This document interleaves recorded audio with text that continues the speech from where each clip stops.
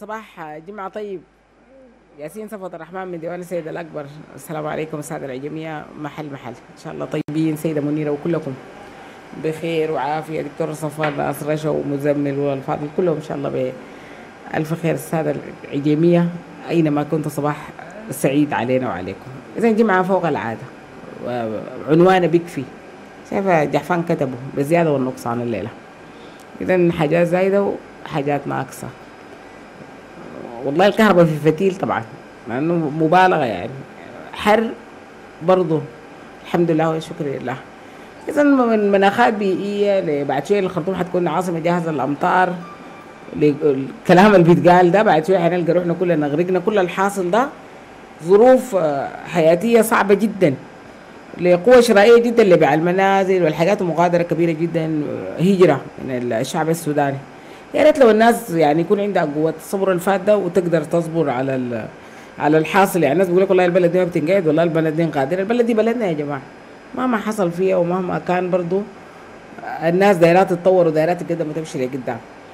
لكن فكرة الحر القاتل ده مع الظروف البيئية الحياتية دي للكهرباء الحياة برضو مستحيلة يا جماعة. إحنا برضو نحاول نكون منتجين تجاه أحداث كثيرة حصلت في السودان. بتلقى الثورة شغالة في حتة والناس ما عندها أي علاقة بال بالحتة الثانية يعني.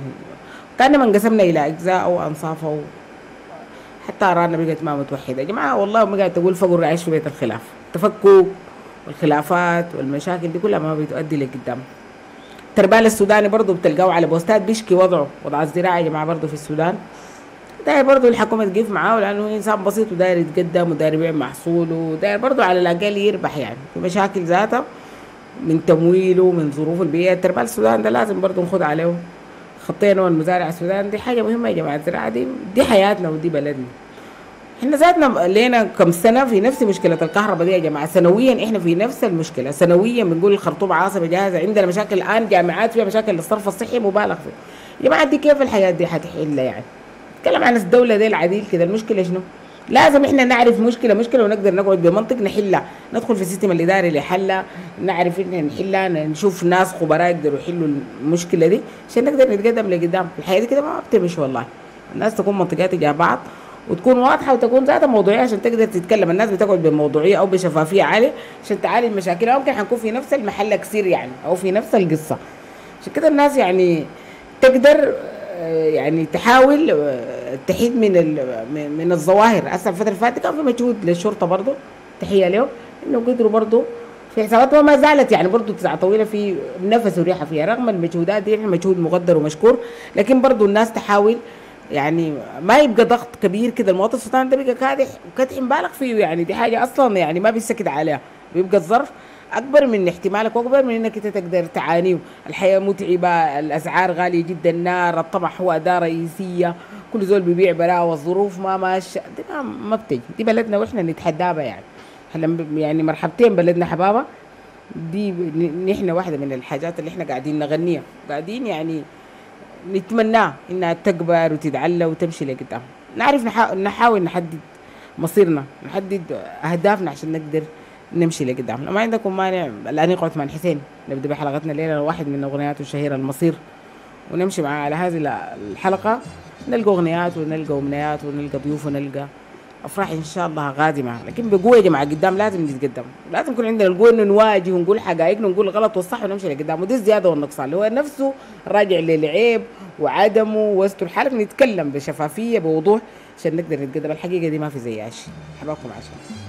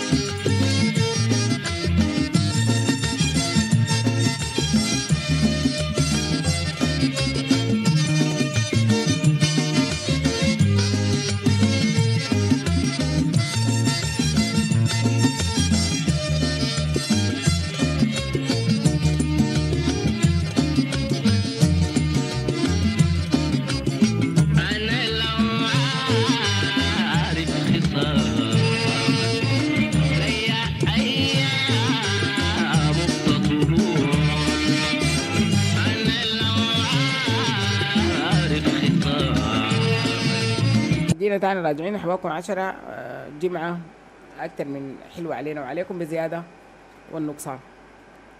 بتلقى ناس برضو يعني إذا تكلمنا عن ال- الواقع الشخصي للناس أو يعني آه، أو أنت ذاتك عملت بحث روحي مع روحك بتلقى عندك أخطاء وعندك عيوب يعني. بعدين ما هو ما عيب إلا العيب يعني. تلقى الناس اللي بيقول لك والله بنشتغل بعرق جبين بنشتغل نقدح بيدنا نخدم في البيوت نغسل. وقصص كثيره سودانية ربوا فيها النسوان الرجال بالحلال وبالعرق الحلال وبالجهد الحلال يعني. النسوان على كسر على امتداد يعني لهم التحية ولهم التقدير. بالإنابة منه نحن ذاتنا نتكلم يعني. على امتداد ستات الشاي من قديم بيبيعوا الطواقي من قديم بيعات الكسر الداردومة كل الحاجات. داردومة أو داندورمة كلها نفس العبارة. كل النسوان اللي اشتركن في خط سير الحياة دي آه، يعني غزالات العمل والبيت. ايا كان شكل العمل ده قدر ان يقدم إنسان سوداني جديد أو شاب سوداني جديد هم بكرة يعني للناس البكره والأمل والحاجات اللي فيها الخير دي كلها. اذا بالحلال ربوا الناس الرجال يعني ربوا ذاته نسوان ورجال كدحوا عشان يبقى عندهم آه، حياة أو يبقى يقدروا يغيروا واقعهم من واقع لواقع.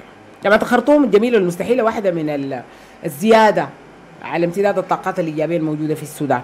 وهي كده أيضا تشكل فرق. يقول لك والله قرينا بضوء كهرباء الشارع والله ما كان عندنا حاجة والله ولدنا ده نجح ورفعنا وعلان. وبتلقى فيهم دكتور فلان والقاضي فلان والمهندس فلان تلقى ناس يعني يعني جدي عثمان وين يقول لك بيصحونا إحنا 10 أو 5 أنفار للبن وللباسطة يعني.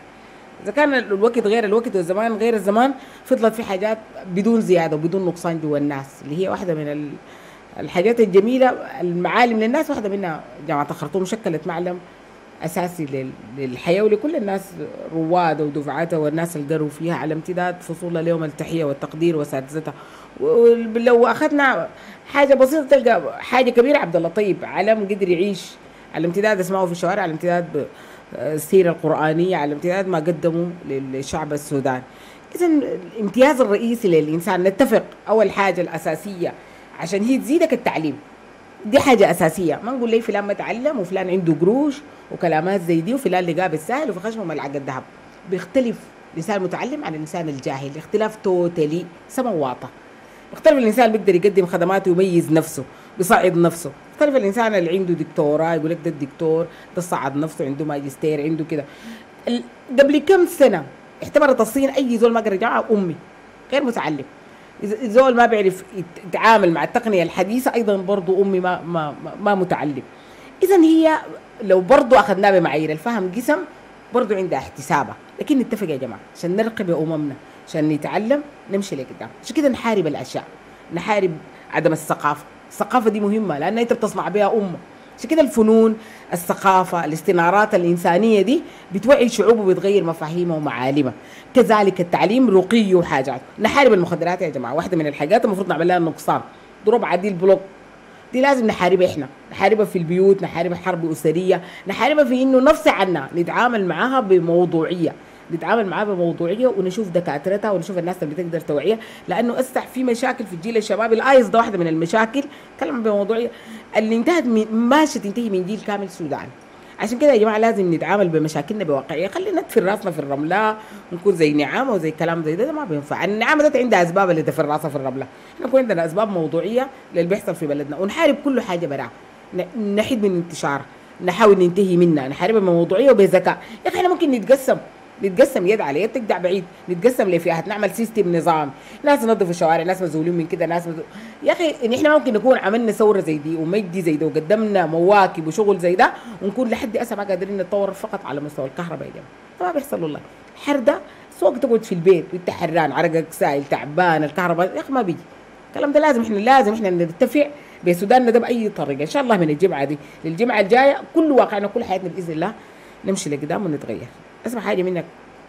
ونجي راجعين لو بيتوا نيابه عني حد يقدر ينسى نفسه. برضه يا جماعة بديكم حق الإجابة. لأنه برضه يعني كل إنسان عنده فهم وعنده معاييره للفهم. حتى لو بترتفع الحاجات لازم يكون عندك وجهه نظر. قدرة على الاصغاء للراي والرأي الآخر. نسمع جاوب أنتوا نيابه عني حد يقدر ينسى نفسه. من حلاوة الشوق وهمسة. البديع مجذوب وصل حد يقدر ينسى نفسه. نيابة عني حد يقدر ينسى نفسه بحلاوة الريد وغمسه. بحلاوة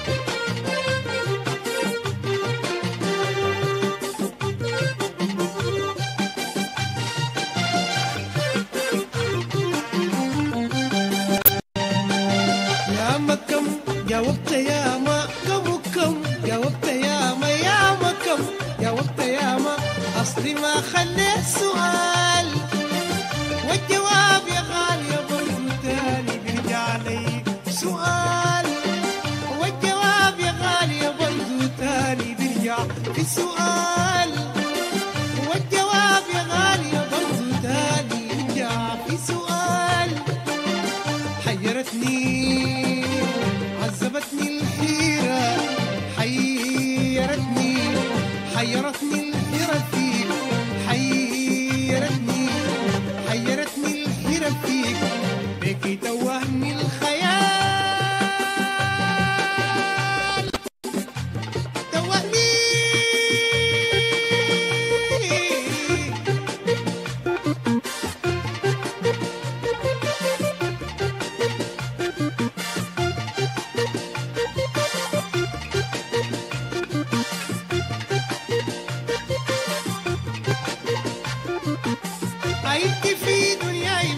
مشاعر اي خاطر احسه قلبي نيابة عني. حد يقدر ينسى نفسه. قلبي انتو نيابة عني. حد يقدر ينسى نفسه. ومين ومين بيقدر ينسى نفسه؟ اذا زيادة ونقصان. عيوب عند الناس ذاتها. بتلقى يعني يقول لك فلان ده عيب وكده. ماله؟ أصلا ما في إنسان كامل كمان لله وحده. تلقى آه، فلان ده آه، يعني اللي فيه عيوب ما بتتعالج. زي البخل مثلا واحدة من العيوب اللي بيتكلموا عنها الناس.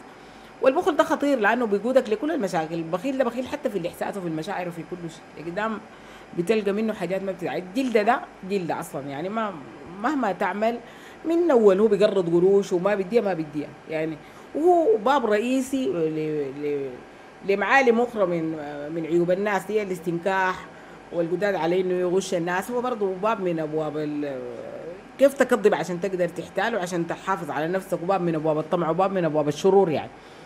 اذا في ناس بيقدروا يحاسبوا نفسهم اللي هم بي- بي- بيزيدوا إيجابيتهم تجاه نفسهم. ودي طاقة إيجابية بتقدر تحاسب نفسك وبتقدر تقعد مع نفسك. وبتعمل حاجة اللي هي محاور الذات. محاور مع نفسك إنك بتحقق فيها كيف انت كنت غلطان وكيف صح؟ وكيف قدرت تمشي لقدام في كم حاجة وكيف قدرت تمشي غلط؟ في ناس عندهم آه، يعني بيراجعوا يومهم عندهم مذكرة تجاه يوم يوم نفسه يعني. بيقول لك أنا آه، عندي يعني بحاول من أول يوم لحد آخر يوم بكتب يوميات يعني أو مذكرات خاصة به بقول لك من الصباح أنا عملت كده و وراجع حاجاتي اللي أنا غلطت فيها. الاعتذار ما عنده كبير. أنت غلطت ممكن تعتذر أو تتراجع. في أبجديات رئيسية للحياة الناس المفروض تكون عندها معايير أو خطوط حمراء تجاهها. القوة واحد من المعايير الرئيسية المفروض تكون عندك يعني احترام تجاه بتحاول بقدر الإمكان إنك أنت ما تفقد قوتك أو ما تخسر قوتك أسباب ضعيفة يعني. هو الناس بتتصارع في جنون الناس يعني كلها لو رجعت لورا بتلقى إنه أصلا ما في حاجة يعني عشان الناس تتصارع فيها. قد ما بيضر أي شيء. الناس تتفق إنه ما بيضر إلا الكلام المر. يعني كلام مر هو اللي بيقعد في النفوس لأنه بتقول حبيبتي السيره أطول من العمر. الكلمة أطول من العمر. يعني في حاجات بتمس مش غرورك بتمس أي حاجة فيك. يعني كلمه قد تغير مثلا حياتك تجاه الزول ده أو تجاه يعني محبته أو تجاه حاجة. عشان كده يا جماعة الناس تكون حويطة يعني على كل الحاجات. بعدين عشان إحنا شعب شماري يعني معتمد ثلاث ارباعنا على الشمال نمرق الربع ده نقول ما داير. فالحاجه اللي بتتقال بتصلك يعني بكل الأحوال بتصلك وبتقل النفوس حتى لو بالغلط. بعدين الجزء من الحياة أنا اتكلمت عن قبل كده حتى الهزار جزء منه رمي كلام لك انت لازم يكون عندك غوصين تفتحهم في مكان ما وخطين وشولة ونقطة وفاصلة وحاجات انك انت تقدر آه، تعرف بيها آه، توصل حاجاتك دي. صوتك واحدة من الحياة اللي بتوصل بها الناس زينا هنا. نعتبر إحنا يعني بنوصل صوتنا. ايا كان هو صوت من اصوات ال- الحقيقة. بتلقى هسه مثلا أطفال صغار حرموا من التعليم برضه. نتكلم عنه زي ما تكلمت عنهم الدهمشيه دي ربنا يديها الصحه والعافيه إنه تلقاهم بيقول لك والله ببيع وبملك يسميه خدار وبرجع البيت وكده. طيب يلا هم ظروفهم المعيشية حرمتهم من التعليم. اللي اب مفقود أو أب غايب لأنه هو الأب هو ال- السند الرئيسي للبيت يعني. الناس كلها يعني بتستند أو بتعتمد عليه في المعيشة. قد تكون ام ما قدرت يعني بتربي الأولاد من داخل البيت. هي شراكة مؤسسية عشان انت تقدر تمشي بها اللي قدام يعني. في ناس والله بيقول لك والله يعني إحنا نزاد نزاد كيف يعني؟ مثلا تتفاهم مع الرجال يقول لك والله نزاد بالعرس ده كلام شنو؟ انت بتكون حالك مايل عندك ستة أطفال. يعني أصلا انت مثلك المفضل بتبلبل بعوم ولا ده كلام شنو؟ ما بتيجي. في حاجات الناس بتتعامل فيها ب- بزيادتها بإيجابية بفهم. عشان كده دائما يعني الإنسان اللي بيستشير ده الناس بيقدروا يفهموا أو يحبوك ويدوك ما ما بخيب. يعني ما بتخيب استشارته. ليه؟ لأنه زول بيديك راسك في ناس بيدوك راسك. أي في ناس ممكن يكسروا لك تلي يطبلوا لك. يكون أنت عندك قروش يكون أنت عندك منصب يكون أنت عندك حاجة الناس تحاول آه، تصل معك لقدام أو تحافظ على مكانتها. لكن ده ما بوديك لأي حتة. بخليك أنت ذاتك لقدام. تفقد وظيفتك وتفقد إنسانك. على العموم يعني عبر الأسير أنت بتحاول توصل آه، صوت لهم لجهات يعني أو بتقول إنه أو أو أو صوت عتاب يعني. وهي ذات واحدة من العبارات المكتوبة لك العتبة حتى ترضى. على أساس إنه الناس إنها تتقدم وتمشي لقدام. عندنا القدرة عندنا الإمكانيات عندنا الكفاءات اللي بنوصل بها حاجاتنا لقدام ويا ريت نتقدم ويا ريت نمشي لقدام. عبر الأسير يا جماعة. ازيكم إن شاء الله طيبين جمعه أكثر من سعيد علينا وعليكم. نمشي شوية نسمع ونجي. آه، نحن لسه معاكم. بنتكلم عن حاجات بزيادة. زول يقول لك والله بزيادة خلاص كفى يعني يعني كفاية كفاية دي بجد كانت حكاية ذاتها يعني. اذا في حاجات من حياتك المفروض ذاتك في أوقات من الأوقات تقعد تعمل لها يعني نقصان. تقعد تشوف الزايد ياتو والناقص ياتو والصح ياتو والغلط ياتو زول لازم يعيد ترتيب صياغة أوراقه. في حاجات لازم تقلب صفحتها. في ناس تكلمت عنهم قطار شوقك ممكن آه، في أي محطة تنزله. في حاجات ما بتقدر تتخلص منها ممكن تتعايش بها وتتعامل معاها. لازم تعمل جرد حساب لازم تقعد مع نفسك وتعمل يكون عندك دفتر زي بتاع الدكان داك بتاع الديون ده دكان الحلة. تعرف الشلت ياتو ولا خدت ياتو. زي ما قال أبويا الحياة وظيفة. الله يرحمه أبوي حسن بيه الحياة وظيفة راتب عمرك. واحدة من العبارات ال- قالوا دخلت جوانا يعني الحياة دي بتدفع فواتير من عمرك من أيامك ومن حياتك ومن ذكرياتك ومن صحتك. عشان كده انت لازم يعني في حاجات الزول لازم يغذيها يعني وتعالج تتعالج من كل شيء القرآن ده بس. إنسان قدر ما يلزم الذكر والاستغفار والصلاة على النبي كل ما يكون قريب لله كل ما يكون أموره ماشيه ودعوته مستجابة. الدعاء ذاته واحد من الأدوات الرئيسية من الأبواب الرئيسية اللي بغير القدر كله يعني. قدر ما تدعي ربنا وتكون قريب كل ما يكون تكون أمورك طيبة ومستجابة. الكفارات اللي بتحصل لك دي انت بيكون عندك قدرة على تحمل الابتلاء برضه المرض تسهل تقول يا أخي شنو؟ ده مستخبي وين؟ وده ده مستخبي لك وين؟ انت كده ابتلاءات حاجات حاصله ربنا بيديك الابتلاء انت بتكون على قدره. يعني قدر ما انت عندك قدرة على تحمل الابتلاء بتكون قدره. قدر ما الناس يكبروا كبار السن لا تتعامل معاهم بطريقة كويسة. لازم والديك ديل هم سعاده الدنيا والآخرة. هم ذاتهم الناس كمان لازم يحافظوا على نفسهم. لازم الامات زي دي ناس بيقول تشرب موية كتير تحافظ على صحتك في صحة حايم كل كبار ديل لازم يعني يتعامل معاهم الزول بإيجابية كاملة لأنه هم زي ما قلت سع... يا أخي بتيجي ملائكة الرحمن تعزيك في والديك لو يتوفوا. وبالوالدين إحسان. دي.